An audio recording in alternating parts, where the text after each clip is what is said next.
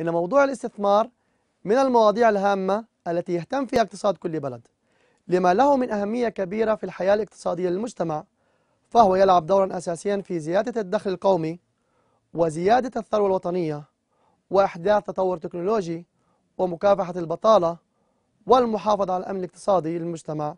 كذلك فهو يشكل عنصر أساسي لدعم الموارد المالية للدولة وتوظيف أموال المدخرين. مرحبا. أنا الدكتور جميل علاونة محاضر في كلية العلوم الإدارية والاقتصادية في جامعة القدس المفتوحة. سوف نستعرض خلال الحلقات التعليمية لمقرر أسس الاستثمار المواضيع التالية.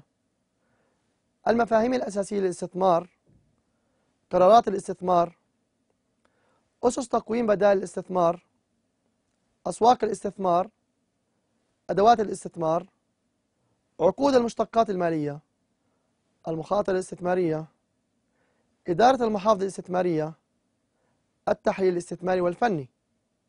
هذا المساق سيؤهلكم للتعمق بمفهوم الاستثمار وأهدافه وأسسه وأدواته والمخاطر التي تؤثر به. فإذا كنتم من الراغبين والمهتمين بهذا المساق ندعوكم لمتابعة الحلقات التعليمية التي ستبث على فضائية القدس التعليمية. فأهلا ومرحبا بكم.